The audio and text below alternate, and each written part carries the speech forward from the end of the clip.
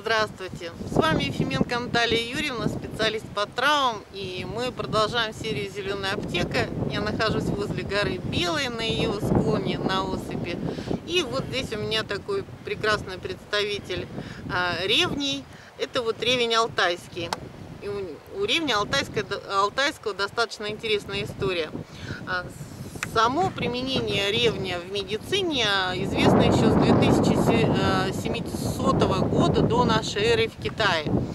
А его успешно применяли как слабительное средство. Действительно, в корнях, э, в корнях ревня находятся слабительные а, вещества, которые действуют хорошо на перистральтику желудка, а, кишечника и обладают таким прослабляющим действием.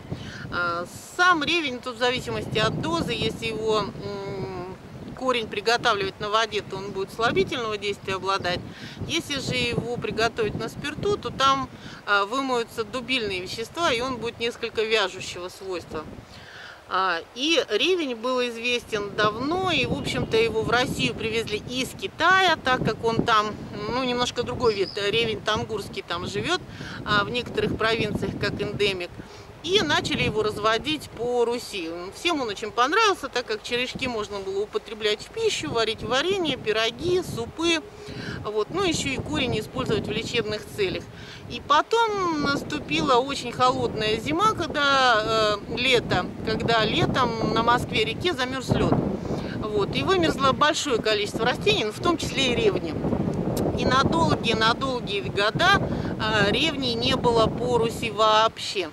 А потом, потом были экспедиции на Алтай, и, в общем-то, вот представляете, из какого-то вот такого одного растения алтайского а, великие путешественники, они привезли и развели снова ревень по всей Руси. Поэтому вот это вот папа всех культурных э, ревней на, все, на всех огородах.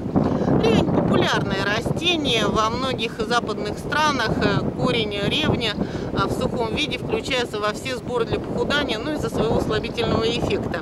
Ревень хорошо желчегонит и э, считается в тибетской медицине, что он дробит камни в желчном пузыре. Ну вот не знаю. Но мне нравится ревень э, как вот растение, как огородное растение.